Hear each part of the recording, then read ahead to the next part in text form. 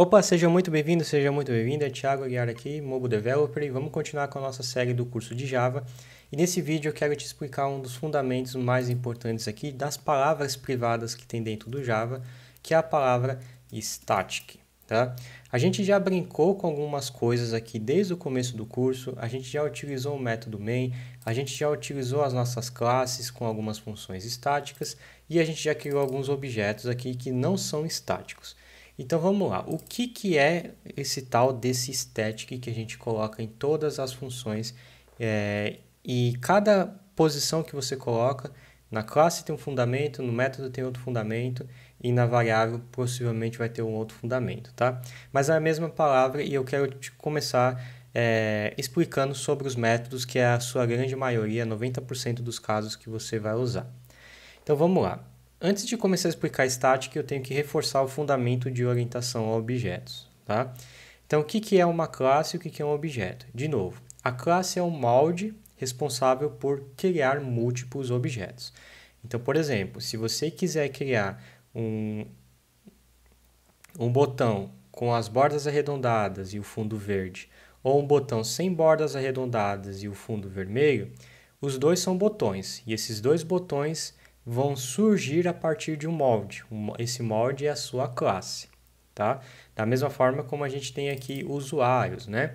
Então, se você tem no seu banco de dados, no seu sistema, é, 30 usuários, você simplesmente precisa de uma classe usuário e essa classe usuário vai ser responsável por instanciar, por gerar objetos do tipo usuário com as propriedades diferentes, da mesma forma como a gente fez nas aulas passadas.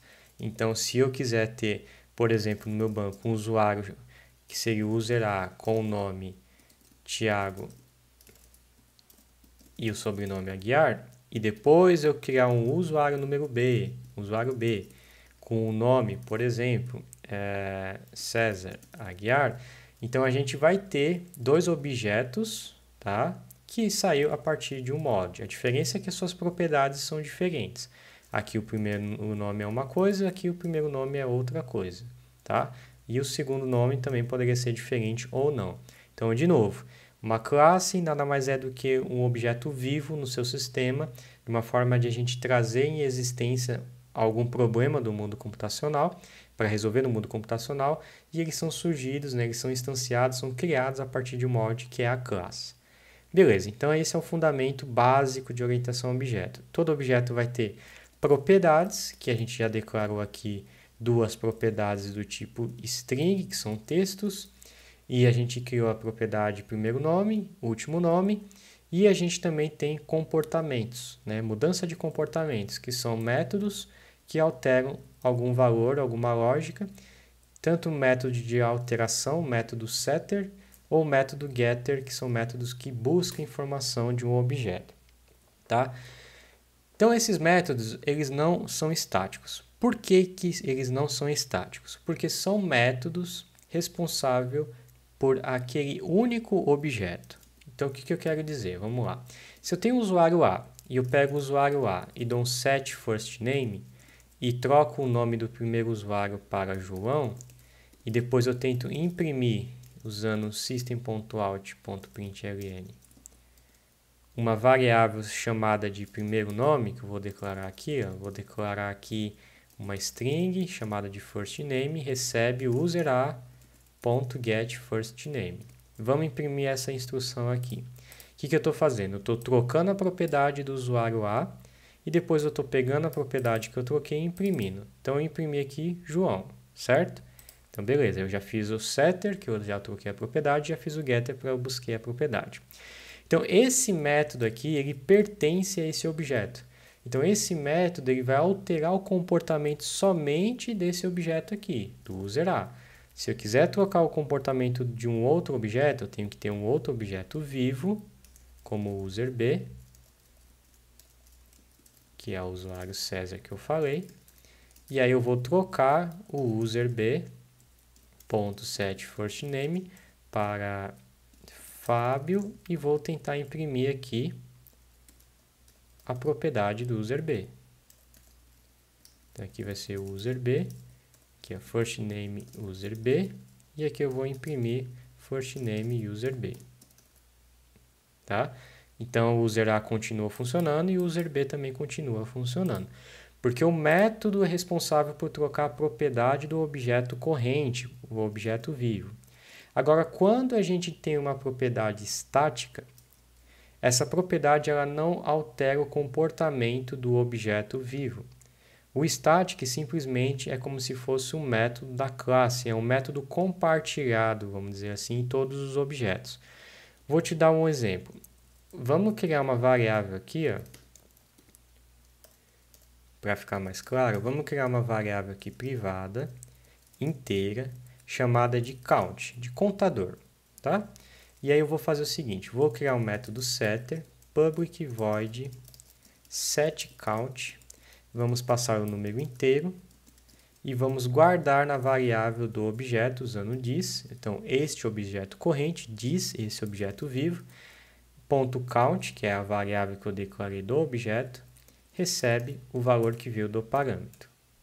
E depois eu vou fazer um getter para ele. Public, o retorno é um inteiro, get count, não tem parâmetro porque é um método de retorno, eu vou dar um return o valor armazenado do objeto, tá? E aí o que, que eu vou fazer aqui? Eu vou dividir a tela só para você enxergar aqui o fundamento, só para a gente ter as duas visões iguais aqui. É, deixa eu pôr aqui aqui, aqui eu vou trocar aqui para abrir o usuário. Ah, pode deixar do lado esquerdo aqui. Então vamos lá. Eu vou criar o usuário lá, Vou chamar ele de Tiago, vou chamar esse aqui de César, só para a gente ter os nomes corretos aqui e a gente não se perder.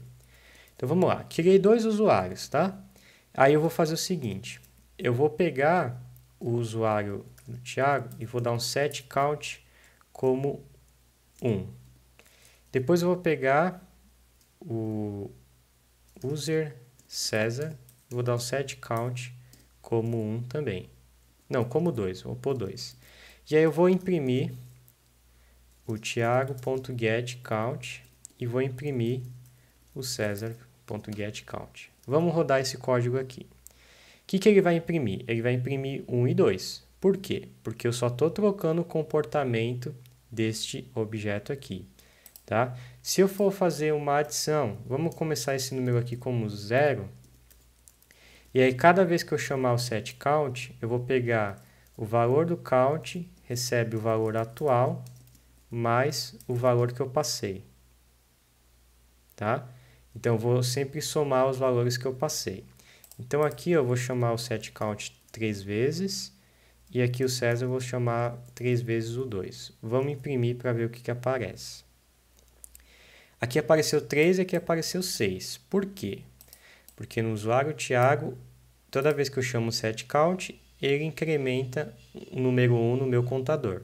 E aqui no César eu incremento o número 2 no contador. Então aqui ficou 2, 4, 6 e aqui ficou 1, 2, 3, certo? Então beleza, a variável count pertence somente ao seu objeto. Toda vez que eu dou um ADD, toda vez que eu incremento esse valor com mais um, ou com mais a propriedade que eu passar, eu só estou mudando a propriedade daquele objeto, porque a variável count pertence a ele, porque ela não é estática. Então, quando eu coloco essa variável aqui como estática, coloquei ela como estática, tá? E aí, se eu rodar de novo, o que, que acontece? Você vai ver que os números vão ficar diferentes. Ficou tudo 9. Por que, que ficou tudo 9? Porque a variável, quando ela se torna estática, ela pertence à classe. E como ela pertence à classe, ela pertence ao molde, esse valor é compartilhado em todos os objetos. Então, por exemplo, aqui ficou 1, 2, 3, 4, 5, 6, 7, 8, 9. Então, tanto o usuário Tiago quanto o usuário César têm o seu contador como número 9, tá? Porque eles estão compartilhando essa mesma variável. Essa variável ela pertence aos dois usuários. Por quê? Porque ela foi declarada como estática. Então, quando a gente tem uma variável estática, a gente não precisa de uma instância viva de um objeto para trocar a sua propriedade eu posso declarar o método dele como estático também. Tá? Eu vou declarar essa variável estática e automaticamente o diz vai parar de funcionar. Opa, por que, que o diz parou de funcionar? Porque o diz é uma referência ao objeto vivo. Então, como essa variável pertence à classe e não ao objeto, seja ele qual for, eu não tenho mais referência do diz. Esse diz não existe mais. Então, eu simplesmente eu vou incrementar o valor atual do contador com o valor que eu passei aqui. Vou chamar ele de C para não confundir, tá? Então, o C vai incrementar com o valor que está aqui. Então, agora eu não preciso mais de um objeto vivo para chamar esses dois métodos aqui. Ó eu posso passar direto à classe user. Passando a classe user, eu vou concatenar e eu vou incrementar esse objeto. Vamos fazer aqui de novo. E vamos tentar imprimir agora. Continua 9, certo? Por quê? Porque esta variável pertence à classe user. Então, todos os objetos que sair do molde user, ele vai ter essa propriedade fixa única anexada. Me dê um exemplo onde a gente geralmente pode usar isso. Por exemplo, se a gente abrir a classe Math, que é de matemática do kit do Android, a gente pode ter aqui, por exemplo, a variável π. A variável π é uma variável estática. Então, o π nunca muda, o π é esse número aqui, tá? Então, automaticamente é uma variável estática que já tem um valor compartilhado em todos os objetos, tá? A mesma coisa vai acontecer aqui com o nosso objeto user. Imagine que essa variável seja um contador, eu vou chamar de count ainda, mas aqui no construtor eu vou sempre dar um count recebe count mais um. E eu vou tirar o static aqui, tá? E aí o que, que eu vou fazer? Eu vou instanciar esses dois objetos e vou imprimir o count. E vamos ver o que vai aparecer aqui. Apareceu dois, tá? Se eu instanciar mais um aqui, vou colocar aqui João, e continuar imprimindo tanto aqui pelo usuário quanto do César, vai imprimir três. Por quê? Porque a variável estática é uma variável compartilhada, é uma variável que pertence à classe, é uma variável da classe, tá? Então, como ela é uma variável da classe, todos os objetos que saírem dessa classe vão compartilhar a mesma propriedade, diferente de se eu tivesse não colocado ela como estática. Se eu imprimir agora, você vai ver que o valor vai ser diferente, vai ser 1. Por que vai ser 1? Porque mesmo que eu tenha instanciado o usuário João aqui e o usuário César, automaticamente cada objeto tem o seu contador único, o seu único valor de contador. Então, quando a gente deixa uma variável estática ou um método estático, ela pertence à classe. Então, por isso que quando eu coloquei aqui um public static void set count, passando o contador, e o contador aqui ele incrementa com mais aqui na hora que a gente dá o set, eu não preciso pegar o nome do meu objeto e dar um set count para eu conseguir usar ele. Não preciso fazer isso eu faço direto o nome da classe ponto, tá? Fazendo isso, automaticamente uh, eu consigo usar a propriedade da classe direta, tá? A mesma coisa, se eu tivesse aqui ó, dentro da classe main uma variável, um método chamado de hello, tá? E aí se eu chamar esse hello aqui, eu consigo chamar ele direto. Por quê? Porque eu estou chamando de uma outra, um outro método estático, tá? Métodos estáticos podem chamar outros métodos estáticos, mas depois a gente explora mais esse fundamento de quem chama quem e a ordem que ele chama. Então, vamos recapitular de novo. Você pode assistir essa aula de novo porque era um pouco complexa para você entender de primeira. Mas entenda os dois princípios fundamentais. Sempre quando a gente declara um objeto, uma propriedade, sem ser estática, ela pertence àquele objeto. Ela só pertence a ele. Então, o usuário Tiago vai ter um número de contador, o usuário César vai ter um outro contador e o usuário João vai ter o outro contador. Quando a gente declara ela como estático, automaticamente essa variável é compartilhada em todos os objetos que pertencem a essa classe. Então, esse valor fica preso na classe, né? Então, tanto o usuário João, quanto o César, quanto o Tiago vão enxergar o mesmo número porque ela pertence à classe que originou esse objeto. Por isso que a troca desses valores não precisa ser feita pelo objeto em si. Eu não preciso pegar aqui o count e trocar a propriedade dele aqui. Não. Eu vou trocar pelo usuário, tá? P pela classe. É a classe que vai trocar a propriedade de classe. Então, é como se fosse variáveis de classe e outros são variáveis de objetos. As variáveis dos objetos pertencem só àquele objeto. Se você der um new em outro objeto, vai zerar tudo e vai começar a contar tudo de novo. E se você usa a variável de classe, ela pertence a todas as classes, aquela classe e todos os objetos que estão surgindo a partir daquela classe. Então esse é o fundamento de static, tanto para variável quanto para método.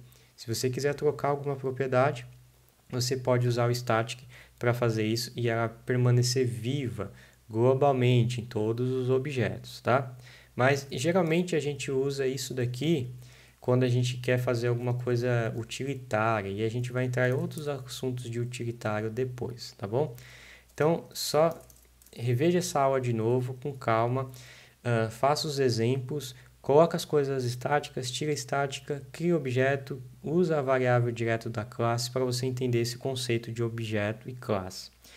O fundamento mais importante é, a classe sempre é um molde que vai sair múltiplos objetos dentro dele. Cada objeto vai ter uma propriedade diferente. Cada, propriedade, cada objeto vai ter a sua propriedade. Agora, quando a gente tem variáveis de classe, como esta daqui, ela é compartilhada dentro dos objetos. Então, todos os objetos vão enxergar a mesma propriedade. Se aqui tiver 10, todos os objetos vão enxergar 10. Agora, se não tiver estático e um objeto tem 10 e o outro tem 0, cada um vai enxergar o seu, tá bom? Então, esse é o fundamento de estática em métodos que a gente vai é, eventualmente usar durante o desenvolvimento do dia a dia, tá bom? Então, esse é o vídeo de hoje. Veja ele de novo, que é importante para você reforçar a ideia. Então, eu vejo você no próximo vídeo.